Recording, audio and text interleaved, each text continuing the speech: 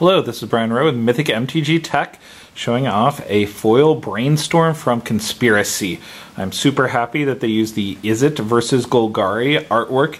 This is the artwork that I use in my Shardless Bug deck. As you can see, the four altars there in the background. And I wanted to get a nice shot of this, a brand new foil brainstorm. Super happy to have this.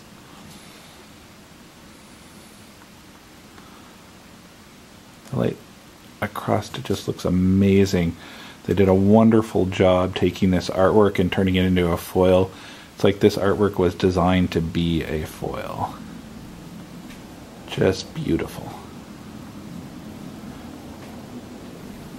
Love the way the eyes glow and the lightning just courses across the face of the card. Thanks, this has been Brian Rowe with Mythic MTG Tech.